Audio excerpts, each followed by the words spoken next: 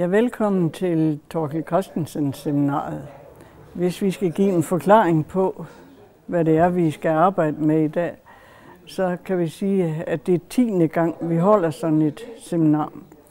Torkel Christensen var jo centrets første formand og faktisk aktiv øh, ved det stiftelse og i høj grad medvirkende til, at det blev som tænkt i Vestjylland. Jeg citerede for lidt siden hans synspunkter på, hvorfor det var vigtigt, at det, netop dette center lå i Vestjylland. Ellers må vi sige, at jeg øh, har skulle introducere, hvad man har kaldt arven efter Torkel Christensen. Og det øh, er der jo kloge politikere og økonomer, der kan gøre. Men jeg har også en mulighed for at give nogle kommentarer, fordi jeg jo personligt har været med i øh, de overvejelser, Torkel Christensen gjorde med henblik på, hvilken fremtid vores center kunne have.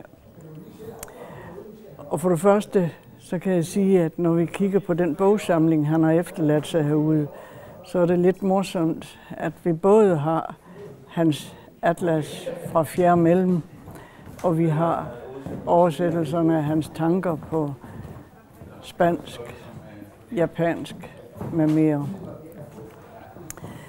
Hvis man spørger folk, der har kendt Torkel Christensen, om hvilken betydning han har haft, så får man det indtryk både af en mand og en karakter, som den personlighed, han har været. Men man får også en fornemmelse af, hvad det er for synspunkter, han gerne ville præge eftertiden med. Og som han i høj grad har dedikeret til, hvad vi skulle gøre her på stedet. For det første kan jeg sige, at der bliver klart sagt om ham, at han var en ener. Og det viste sig allerede i hans barndom, fordi engang blev han spurgt af naboen, hvor han gik på besøg, om han nu også havde fået lov til at komme der, fordi de synes, at han så ikke helt forberedt ud. Og så gav han det berømte svar. Først spurgte jeg min far, han sagde nej. Så spurgte jeg min mor, hun sagde nej. Men så spurgte jeg mig selv, og jeg sagde ja.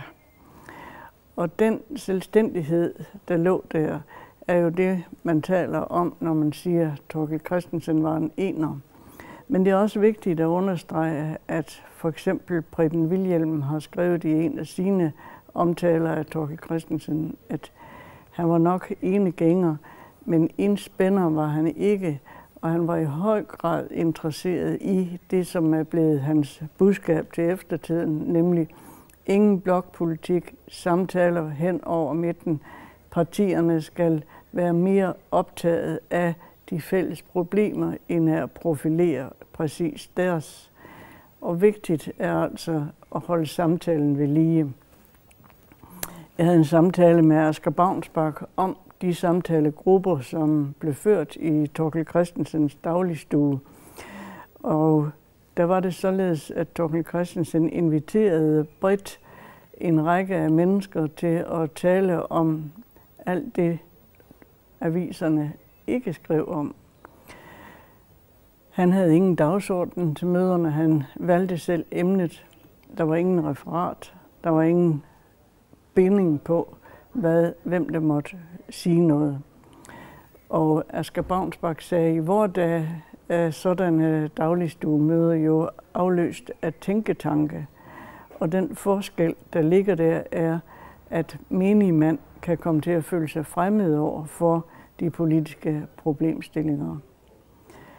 Så på den måde er der jo en lang række af øh, karakteristika, som øh, for Torkel Christensens vedkommende især er præget af samtalens nødvendighed. Og det vil vi så sige, det grundlag han jo også som et mønster, som vi nu prøver at arbejde videre på på Folkeuniversitetscentret. Og i mange, mange henseender er det lykkedes på disse seminarer og andre af lignende art, vi har, at opnå en samtale både regionalt og internationalt. Og det tilskrives ikke mindst det, at Jørgen Løstrup i året 99, hvor Torkel Christensen ville være fyldt 100, der øh, indledte han med at sige, at centret bør oprette et forum for regional og international udvikling.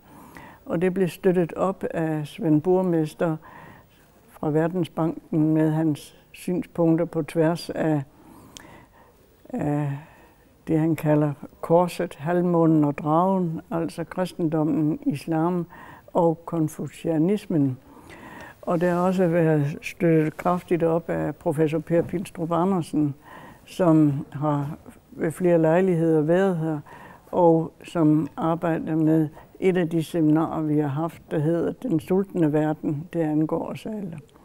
Og det var just sådanne problemer, der optog Torkel Christensen også i hans allerseneste år efter hans øh, karriere i, i, verdens, i øh, OECD. Jeg kan kun sige, at det er en stor glæde, at centret kan være ramme om disse ting, og jeg synes, at det er dejligt, at vi har så stor en referensgruppe bag os, som giver input til, hvorledes vi skal arbejde med. Men nu må vi hellere gå over til dagens program. I dag er det jo Connie Hedegaard, der er hovedtaler, og det er jo noget, vi glæder os rigtig meget til. Og det hele handler jo, måske det jeg skal snakke om, også om vores forhold til naturen. Øh, og der var en, en spørger under Connie Hedegaards spørgerunde, som, som faktisk var inde på, øh, det der er mit store spørgsmål, det er, hvorfor sker der ikke noget? Hvorfor agerer vi ikke anderledes? Hvorfor bliver vi ved med at gøre det samme selvdestruktive? Ja. Spørgsmål, vi kan høre dig. Taler jeg for lavt? Ja, øh, men øh, kan vi have dobbelt mikrofon på? Fordi så synes jeg, du skal have den her Okay. På Mumler jeg? Nej, det er bare sådan, øh, vi vil gerne, vi vil så gerne høre det. Ja. Hallo. Så nu er der mic'et op i hvert fald. Og den, er den tændt? Det ved jeg ikke. Lad os lige tjekke, om du er tændt. Sådan. Jo, det gjorde jeg. Jeg tog bare gulvet. Øhm. Det er fint. Sådan der. Hjælper det? Hører man bedre? Nej. Nej. Skal jeg ikke bare tale højere, eventuelt? Det, det er den lavteknologiske løsning.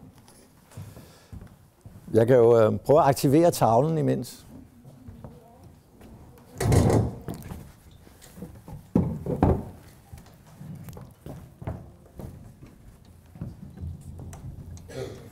Så kan jeg jo eventuelt tegne det, jeg vil sige.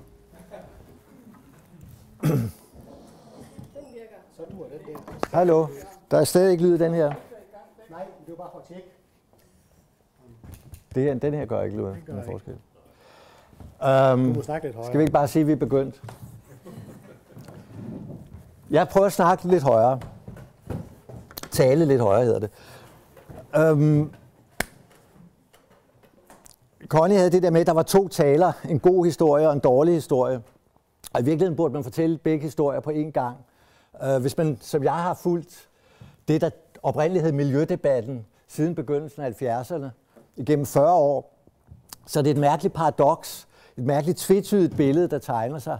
Øh, på den ene side er det utroligt, at der overhovedet findes en miljø- eller en klimakommissær, og vi har miljøministerier, og man kan købe økologisk mælk i den lokale supermarked. Der er sket utrolige ting i forhold til dengang, hvor øh, den økologiske bevægelse var en undergrundsbevægelse med mærkelige små butikker med blege mænd, der solgte øh, biodynamiske produkter. Så der er sket utrolig meget, og man kan se, at mange akutte øh, problemer er blevet løst hen ad vejen. Øh, i 80'erne snakkede man om syreregnen, ikke, som, som, som var ved at slå skovene ihjel i Europa, og det fik man løst med, med, med, med filtrering af røgen, ikke, og øh, ozonlagets øh, øh, ødelæggelse blev, blev, blev øh, øh, afværget ved et forbud mod de her freoner i køleskaber og så videre. Der har været mange sejre, og det var faktisk sådan, øh, at i begyndelsen af 90'erne havde miljøbevægelserne virkelig store problemer. Øh, medlemstallerne faldt, og interessen for, for miljøsagen faldt, fordi det så ud som om, at alting øh, var i... Øh, øh, i, i kraftig bedring. Man, I dag kan man jo bade i Københavns Havn for eksempel, den var giftig i 80'erne.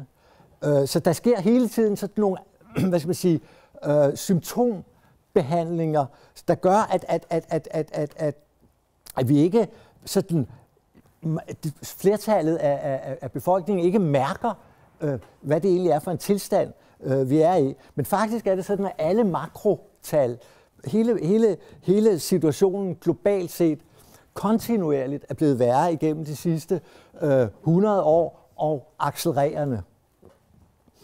Øh, det jeg taler om i dag, det er øh, øh, øh dels at, at, at, at, at, at som udgangspunkt, at der er brug for radikale forandringer i den måde, vi lever på, hvis vores civilisation i bare nogenlunde genkendelig form skal overleve. Uh, og jeg vil fortælle lidt om, hvorfor ganske kort. Uh, Conny var også inde på det, ikke? Men, men, men bare lige for at riste op. Men den gode nyhed og den, den, den, den positive del af, af, af talen, det er, at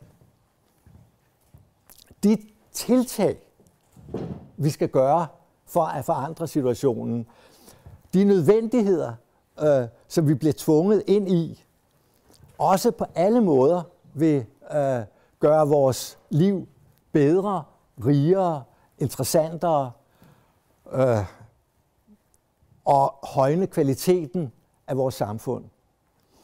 Øh, så overordnet er det jo altså en god historie. Man kan sige, at øh, situationen tvinger os til at genopdage det sted, hvor det gode og det sande og det smukke, det mødes. Allerførst vil jeg lige introducere øh, et naturvidenskabeligt begreb, som er udgangspunktet punktet for det meste af, af min egen tænkning, og som jeg tror må være udgangspunktet for enhver bedømmelse af den miljøtilstand, vi har bragt os i, øh, og i hele taget den kulturtilstand og samfundssituation, som vi befinder os i. Øh, og det er et begreb, der stammer fra øh, øh, termodynamikkens anden lov, nemlig entropi. Øh, entropi, eller termodynamikken, fortæller os, at der er en overordnet retning i universet. Og det er, at, at alle forskelle bevæger sig imod en stadig større sammenblanding. Alle kvaliteter øh, opløses i retning af en stadig større ensartethed. Og over år, milliarder, vil universet være blevet til en øh, grå suppe, altså den lavradioaktiv øh, ingenting. Øhm, det fænomen kaldes entropi, og, og vi kender det fra hverdagen, når vi laver mad, øh, så har vi ganske vist skabt en orden øh, omkring den ret, vi har produceret, men udenom er der en mægtig uorden, som det igen kræver ny energi øh, at bringe orden i, som så skaber ny uorden, fordi vi så skal have mad og energi til at skabe den energi, der skaber orden. Ikke? Så alt, hvad vi gør, skaber uorden. Øh, og det er det overordnede, hvad skal man sige, øh, den overordnede retning, som alt i universet bevæger sig i. En retning mod sammenblanding, forskelsløshed, uorden. Der er dog én ting, der har nøjagtigt den modsatte kvalitet, og det er livet. Livet er en art modentropisk bevægelse. Man kan sige, hvor øh, entropien altså er, er, er mørket og døden, så er øh, livet en modentropisk bevægelse, der er næret af lyset. Lyset og livet øh, skaber til sammen øh, nye forskelle, nye kvaliteter øh, og, og, og nye betydninger. Den første til faktisk at opdage det, ja, det kan jeg jo lige sige, altså, der sidder jo naturvidenskabelige kyndige imellem os, har jeg opdaget, øh, det er jo ikke sådan, at livet som helhed ikke bidrager til entropien, men, men livet er i stand til at øh, eksportere øh, entropien ud af sine egne lukkede systemer på en måde, som intet andet i universet gør. Og det er et kæmpe mysterium. Man kan sige, hvis, hvis, hvis verdens skabelse ud af intet er et mysterium, så er livet det store mysterium inden i mysteriet. Den første til at opdage det øh, var øh, den østriske fysiker Erwin Schrödinger, der i øh, øh 1948 skrev en, en, en øh, eller udgav en bog på baggrund af nogle, nogle forelæsninger, som hed What is Life, mens han var øh, professor i, øh, i øh, hvad hedder det, University of Dublin, King's College hedder det. Øh, og det er en meget berømt bog, der øh, øh, øh, øh, øh nogle mener, det er en af de mest betydningsfulde videnskabelige øh, bøger i det 20. århundrede. Det er den først og fremmest, fordi det er den, der forudsagde DNA-molekylet. Men i den bog, hvor, hvor, hvor, hvor, hvor, hvor Schrödinger prøver at forstå sammenhæng mellem øh, atomfysikkens, øh, Schrödinger er en af de mest betydningsfulde fædre sammen med øh, Einstein og Bohr øh, i, i atomfysikken, øh, hvor Schrödinger, øh, denne altså atomfysiker, prøvede at, at, at, som den første nogensinde at finde en eller anden forbindelse mellem atomernes mikroniveau og øh, den biologiske øh, øh, øh biologiens molekylære makroniveau, og prøve at lave en eller anden sammenhæng der. Og det er der, han begynder at, at undre sig over, hvad fanden det er, der foregår i biologien, nemlig det der, at den bevæger sig imod entropien. Han kalder det selv negativ entropi, øh, og, og er den første, der, der, der ligesom bemærker det her.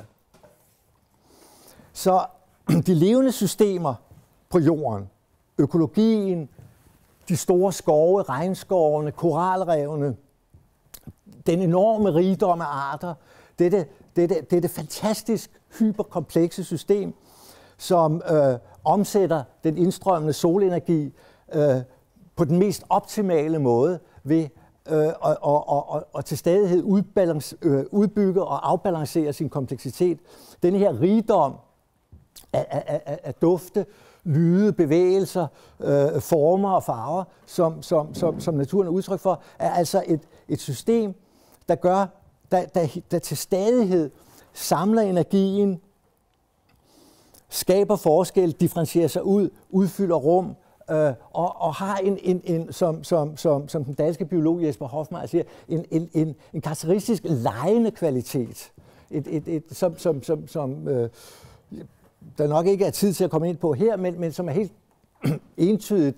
Øh, altså, det, livet synes at have, ifølge Jesper Hofmeier, øh, som er øh, biolog, øh, en, en, en, hvad skal man sige, en, en, en, øh,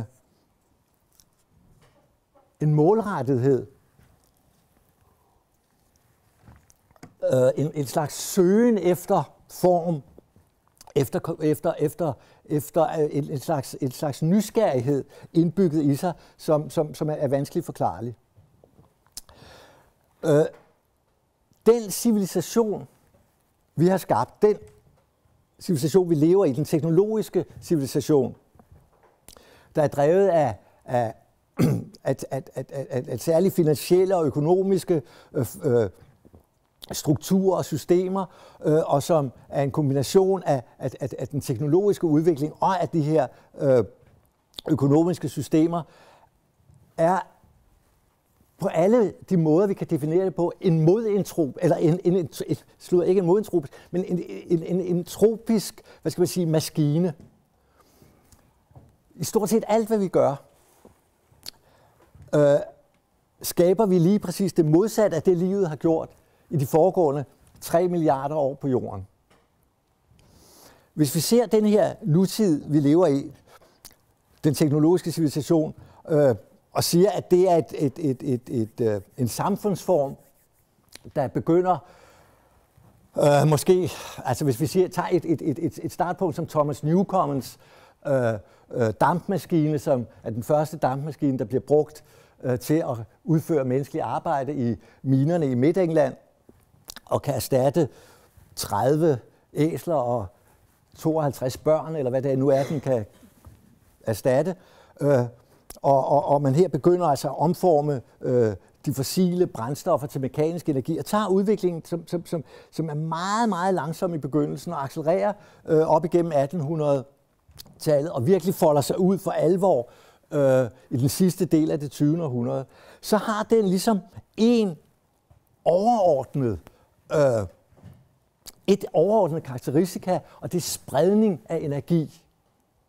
Alt omkring det her teknologiske apparat, vi opbygger, har ligesom spredningen af energi, sammenblandingen af stoffer, accelerationen som sin indbyggede logik. Det er det, der, det, det, det, det er en selvforstærkende øh, maskine, vi har opbygget, som arbejder imod, eller som ligesom opløser hele livets modentropiske, sammenhængende organisme.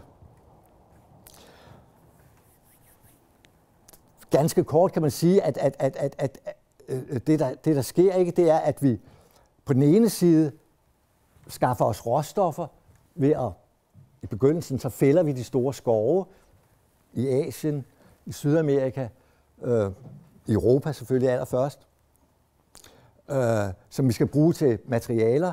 Øh, vi bygger veje, jernbaner, sprænger huller igennem øh, bjergene, broer, sådan at øh, adgangsmulighederne øh, til øh, øh, tilgængeligheden bliver maksimal.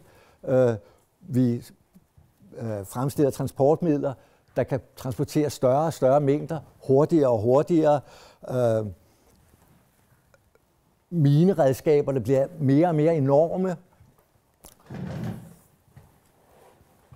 Og dermed transporterer vi materialer rundt på jorden, sammenblander dem, øh, og så videre og så videre. Det er den her kæmpestor øh, piskeris, vi kører rundt i hele stoffet, og på den måde skaber et entropisk system, som, skaber, som, som, som dels altså, øh, påvirker hvad skal man sige, artsrigdommen, fordi at alle andre arter end mennesket bliver presset ud i periferien og får øh, fjernet deres øh, levebetingelser, og dels forgifter øh, grundvandet og, og luften og øh, øh, øh, jorden, fordi vi, vi, vi, vi blander øh, øh, øh materialerne øh, øh på alle mulige måder.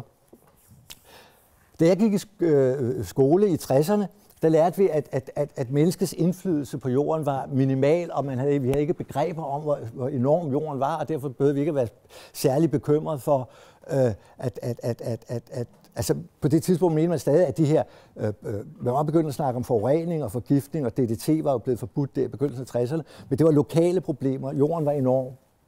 I dag er det faktisk sådan, at, øh, nu vil jeg skulle lige skrive det, at den menneskeskabte erosion på jorden er 10 gange så stor.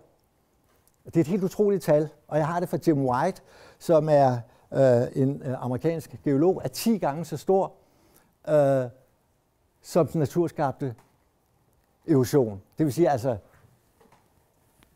øh, vind, regn, floder, havets bulren, øh, på stranden osv. Vi øh, har produceret 10 gange så stor evolution. Det er bare for at sige noget om skalaforholdet, øh, vi er oppe i. Da Newcomen installerede sin, øh, øh, sin dampmaskine, der påvirkede vi formodentlig omkring 7 procent i 1700, begyndelsen af 1700-tallet øh, formodentlig omkring 7 procent af jordens overflade, og øh, de store have havde faktisk overhovedet ikke opdaget, at øh, vi var til stede. I dag er der jo ingen øh, områder på jorden, øh, der ikke er påvirket af vores tilstedeværelse, og det er altså gået så ekstremt hurtigt. Det er den her entropiske aktivitet, som er en enorm trussel øh, for, for, for, for alt liv på jorden, for menneskeheden, Øh, hvis mange øh, evolutionsbiologer mener jo, at vi står umiddelbart over for den største artsudryddelse i 60 millioner år. Øh, og det er jo helt vildt at forestille sig, altså siden dengang øh, dinosaurer, de store dinosaurer blev, blev, blev dræbt af en, af en, en, en, en indkommende meteor, formodentlig, der ramte jorden. Øh, og jeg skal ikke gå i detaljer med, hvor i alle disse ødelæggelser består, men, men, men, men, men et meget godt eksempel på øh, for, øh, øh skal sige, relationen mellem øh, øh, vores øh, brug af kraft, af energi, omsætningen af, af fossil energi til øh, mekanisk kraft, og så øh, øh, ødelæggelserne af overfiskningen øh, af, af, af øh, havene. Det er sådan, at øh, i dag er de fisk, der bliver fanget, øh, øh, øh, øh 90 procent, øh, altså har de kun 10 procent af den størrelse gennemsnitligt, som de havde for 100 år siden. Det vil sige, at vi fanger stadig, stadig yngre fisk, øh, som reproducerer sig stadig dårligere, og det hænger, der er en fuldstændig, øh, fuldstændig øh, øh, hvad skal man sige, parallel i, i den udvikling med øh, motorkraften i de enorme fiskefartøjer, øh, som, som, som, som vi fisker vores have med. Der er, altså, der er altså en logik i den måde, vi lever på, i den måde, øh, vi producerer på, i vores økonomi, øh, som, som, som, som simpelthen skaber det her øh, entropiske, øh, den her entropiske ødelæggelse, som, som altså ødelægger livet i havene, som er ved at få, øh, øh, øh, som, som med rekordfart og stadig accelererende, fjerner øh, de tropiske regnskov og så videre og så videre og så videre. Og nu snakker jeg slet om klimaproblemer, fordi det er alt sammen øh, øh, faktisk et stort sammenhængende øh, øh, problem. Den måde, jeg taler om det her på, er et forsøg på at skabe øh, et helhedsbillede. Og det er klart, at man skal være en jubelamatør som mig for overhovedet at gøre det her, fordi øh, det, det, det indebærer nogle, nogle, nogle, nogle skred, som vi sikkert bemærker i tænkningen, men det er nødvendigt for ligesom at prøve at skabe en sammenhængende billede. Fordi nu går jeg hen til en, en, en, en, en anden faktor i det her øh, øh, i den her sag, og det er forbrug. Forbruget er i og for sig, kunne man godt sige, i en vis forstand, blevet en erstatning for det, der før den industrielle revolution blev opfyldt af religionen. Og det er meget vigtigt at gøre sig klart, at forbruget, som, øh, det er den rolle, forbruget har i vores øh, kultur, i vores samfund, som eller, eller det, jeg plejer at kalde for den globale middelklasse, som vi tilhører.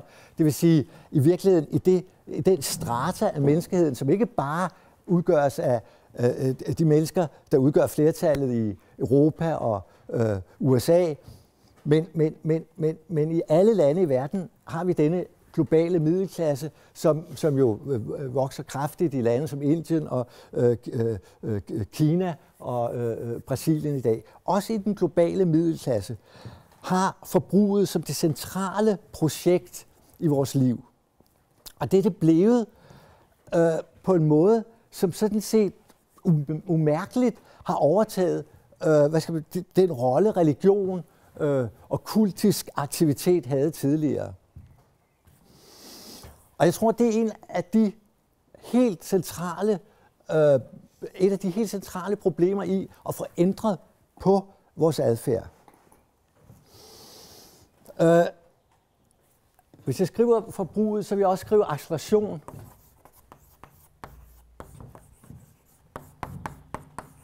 Og mit yndlingsudtryk, desorienteret restløshed.